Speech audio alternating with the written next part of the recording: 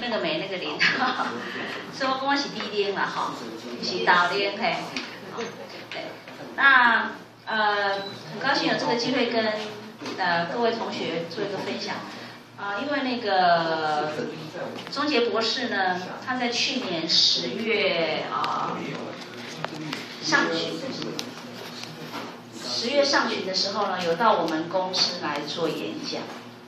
好，因为呢我们。啊，非常认同这个钟杰博士在能量上面的啊这个成就跟造诣，还有帮助的很多的人。那我们是做啊能光波啊贴片是走能量的，所以就请博士来跟我们演讲啊，让我们能够认识能量是什么东西。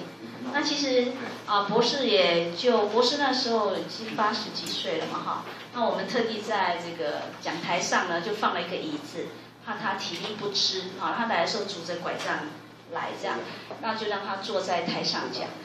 啊，那他从这个非常尽心的从能量是什么讲到啊，现在市面上很多能量的产品怎么去分辨真伪啊，到这个他的这个著作，等讲到这个结真道的时候哦，他的发明的时候，啊，非常热情，他就站起来了，哇，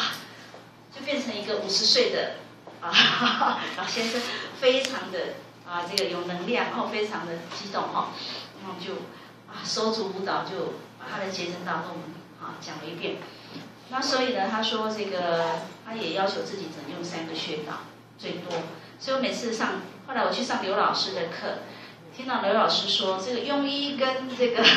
神医的差别，啊就在用的穴道啊。这个庸医可能要扎很多针，或是做很多地方。那神医呢，就要三个穴道以内这样。我就想起来，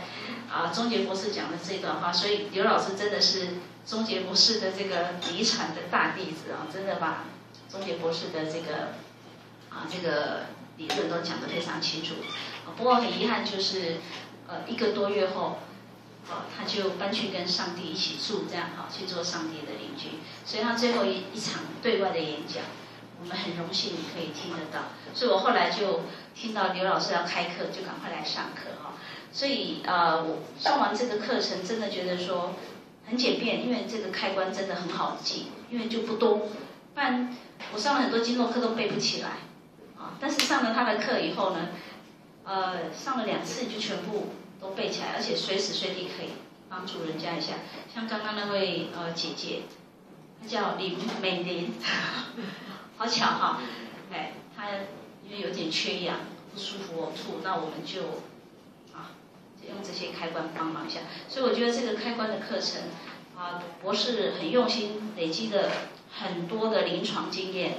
然后把它整理出来。那也谢谢刘老师愿意发愿啊，把它